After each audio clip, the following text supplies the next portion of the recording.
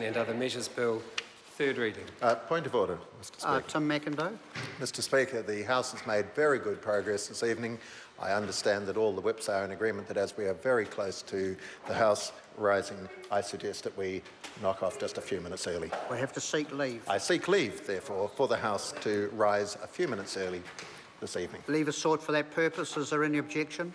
There is no objection. Members, then the House stands adjourned until 2 p.m. tomorrow. Good evening.